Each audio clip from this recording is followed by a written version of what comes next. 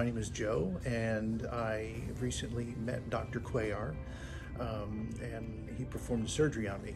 I was in an auto accident, uh, had some neck and back pain, and um, was going through chiropractic care, uh, epidural steroid injections, and um, went to a neurosurgeon in Jacksonville who didn't pay any attention to my neck, uh, wanted me to get a fusion in my lower back, which I had had heard from some providers that was uh, not the way to go.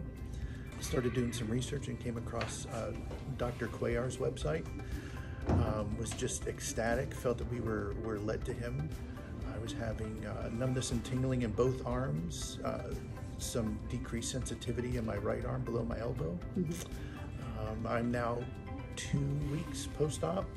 Um, I don't have any the numbness or tingling in my arms. I have the sensitivity back in my arm.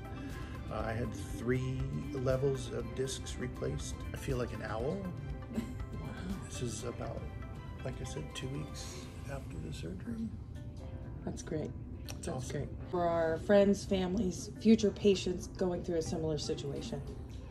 I would say go see Dr. Cuellar. I thank God for Dr. Cuellar's um, skills and personality and hospitality here The staff and my experience has just been phenomenal.